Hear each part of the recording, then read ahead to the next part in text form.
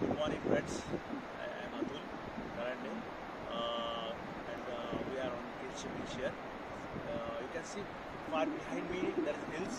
Uh, near to that, that is Harihareshwar, uh, which is ancient temple of Shiva, and after that there is Sri Vardhan, which is uh, our god uh, uh, Ganpati, and uh, it's nearby here on this beach. Uh, you can see on this end of the beach there is a Maha, uh, Mahalakshmi temple.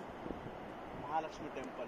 And after that, the far end, this one, that is the Yaqub Baba Dargah over there. And uh, here I am with this because uh, we have uh, one hotel that is named is Vishwa Sanskriti Hotel, and it's well facilitated, uh, 15 rooms property with AC and non-AC rooms, which we have given free Wi-Fi facilities a bar and restaurant uh, uh, facility. And uh, we have good Malvani food here. And across that we we do give facility. We have our own boat. We take into the sea one hour ride. And we show the dolphins to our customers. And uh, definitely in this Konkan area you'll get good enjoyment a peaceful clean clear beaches here.